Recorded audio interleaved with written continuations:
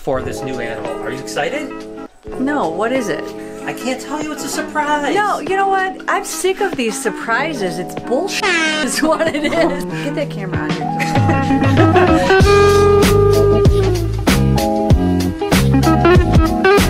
Hey, good morning, everybody. Welcome to the vlog. It is a balmy 12 degrees here in Michigan. And you know what, guys? I used to hate winter. And in Michigan, winter lasts a long time. And you know, I thought to myself, you know what? I'm to be happy. And I'm just to go ahead and embrace the insanity.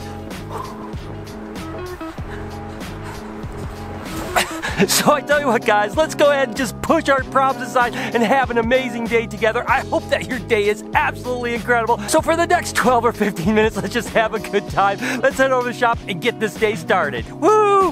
Lori, I am super excited.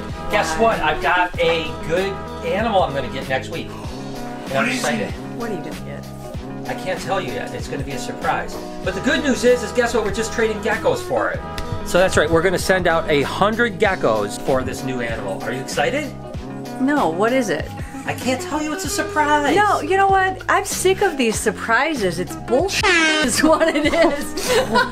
No, no, no. This is a good one. You're going to love this one. yeah, It I doubt so it. cute. Is it a puppy? Is it a puppy? It's kind of like a puppy. No. Number one, I don't even want a puppy because this is not the time or place. No, you're going to like this one. No, I'm not. No, this is so I guarantee cute. I'm not because I don't It want so anything cute. else right now. It's so cute, and we're not paying for it. It's a trade. We're getting rid of geckos. I don't care. It's still. Oh, you know what? I swear to God. It's going to be good. Get that camera on here because I'm gonna punch you. It's going to be good, Lori. I cannot wait. Till she's so excited. I'm happy she's excited about this. It's going to be such a big surprise. Break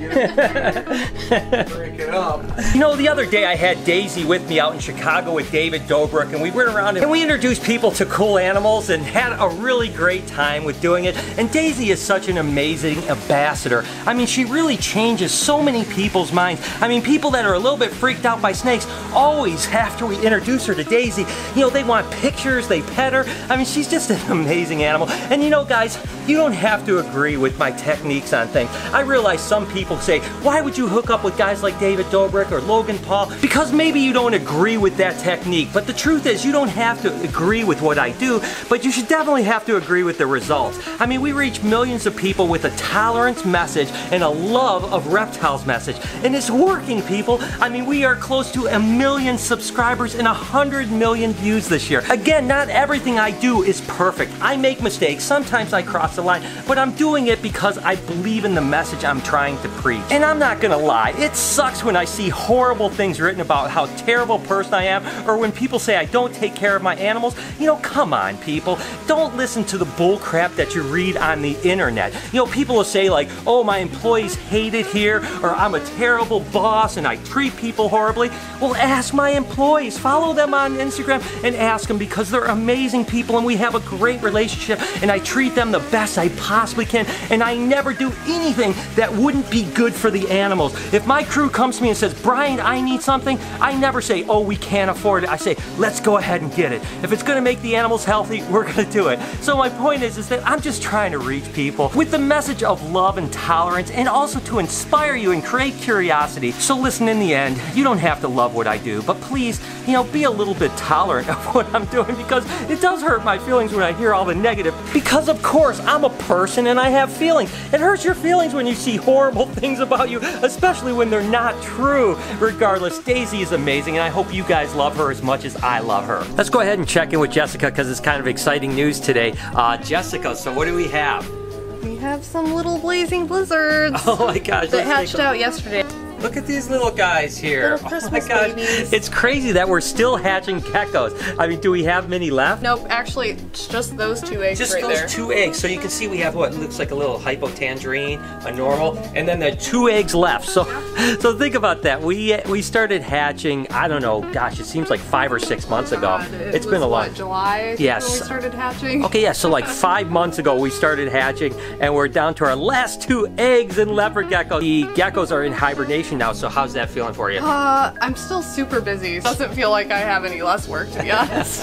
The good news is, I mentioned earlier, we're going to be sending out 100 geckos for a trade on an animal. By the way, go down in the comments and let me know what animal you think I'm going to get, which would be the value of 100 normal geckos. Uh, let's see if you have it right. I, am pretty stoked about this. It's going to be about a week because the weather is really cold here. So, uh, but then you have to start working on skinks pretty soon. yep, this week. At least Jessica's pretty excited about the skinks because it's a change of pace. We still have a couple months of uh, you getting a little bit calm. A Uh, little bit, but with skinks, I'll be, you know, busy as always.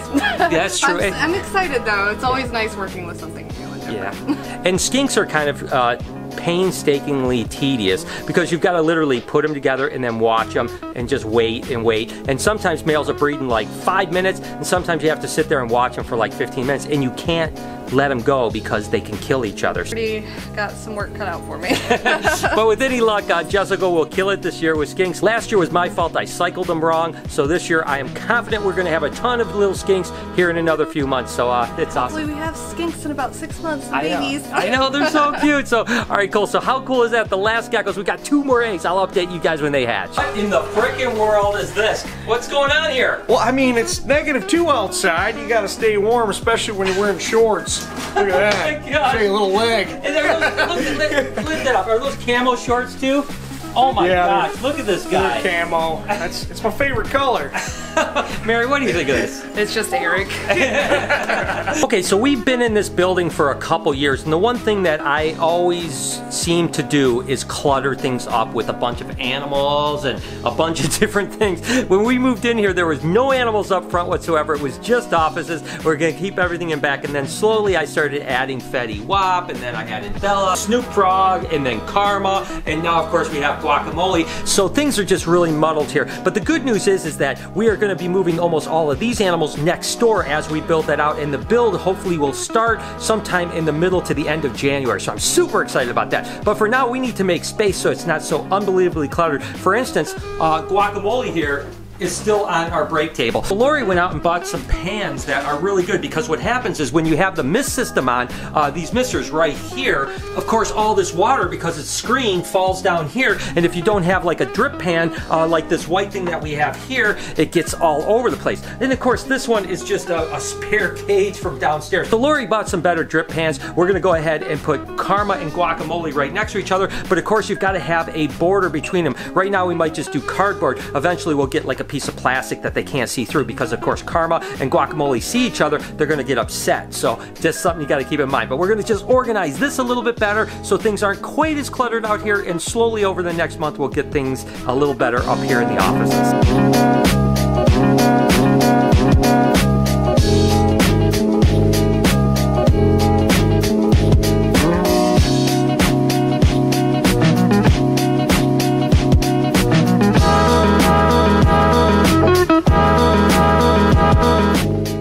So at least we have the chameleons kind of out of the way. We have our break table back. Uh, we still have a lot of work to do up here, but this is going to work out really well. Again, Lori got these little plastic things that are like drip pans here that are going to be awesome for the sprayer, which is really good. Uh, again, I'm going to put a little barrier up here so Karma doesn't see guacamole so they don't freak out. Uh, I still have to hook up the lights and then I have to get a timer on the mister uh, and then put a mister over onto guacamole's cage and then we're all set. At least for now, this will work. Uh, oh, and I've got to figure out how to turn the microwave on so that everyone can use the microwave.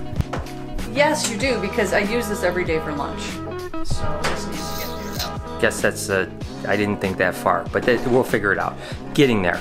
Kelsey, we are almost ready to start breeding pythons, right? Yes, I'm very excited. We are behind schedule, and it's my fault 100% because Kelsey helps me with the breeding schemes, but I always make kind of final touches to it and so like that. I've been so busy that I haven't got the final touches. So Kelsey every day is like, Brian, you get that list? You get that list? You get that list? So we are getting close. Sorry, Kelsey, but I promise it's going to be a good one. Hope so. It better be. You made me wait this long. exactly. Uh, and on a different note, I actually wanted to tell you that uh, I talked to my friend Ben, and he actually had talked with a couple anaconda breeders, and they had said that Verde uh, will absolutely eat if we try smelt. I know we've tried tuna, we've tried sardines, but he says smelt. yeah. Smelt, is Smelt, it. huh? Smelt is it. Smelt are pretty stinky, so I mean, if that's what works. That's what he says. He says he guarantees me if I try smelt scented rodents, it will absolutely eat. So I'm gonna go get smelt either later today or tomorrow.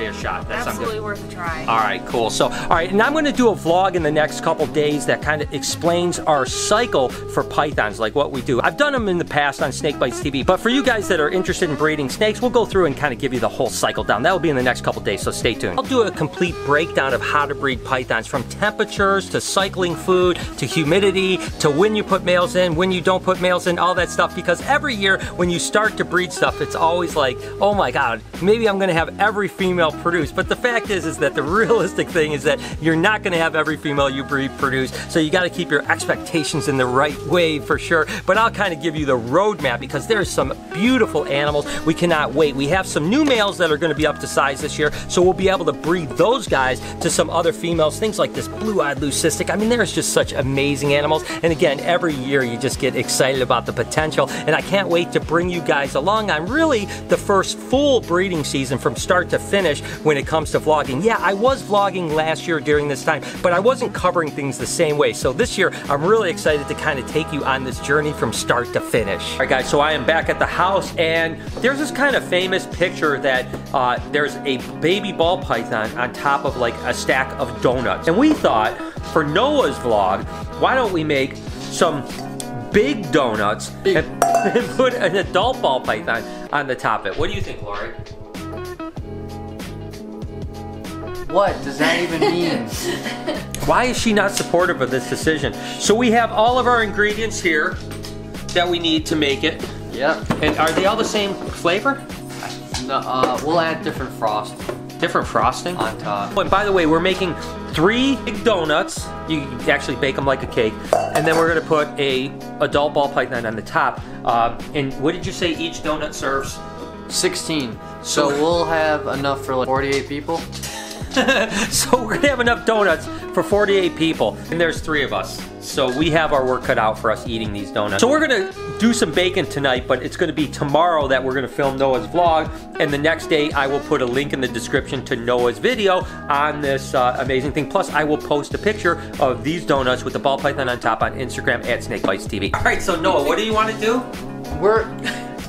You put them on top like this, and then you put them in the oven, right? That is not how that works. No. No, that is not. Yeah, exactly. But wait, but there's supposed to be batter that defies gravity and stays upside down in this one? No. So it's a good thing we have Lori because we were planning on putting the batter in these and then putting them like this and cooking them. And she brought up a good point. It doesn't work that way. No, it doesn't. So what do you do? You cook them separate and then once they're You done. You put it together to make Good They come we after the cake comes out. Why didn't you? Why weren't you here for the eggnog? Well, There's a million reasons why I wasn't here for the eggnog.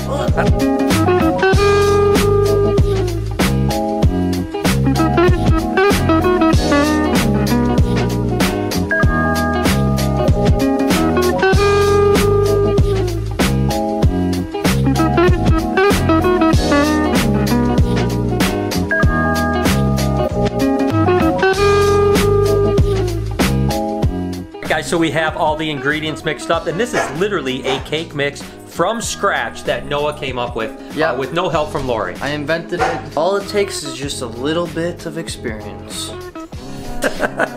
Okay, so they're going in the oven. There you go. 350 degrees for how long? For three and a half hours. Three and a half hours. This is just like a turkey. You cook it for low and slow for three and a half hours for this cake. And see you on the other side.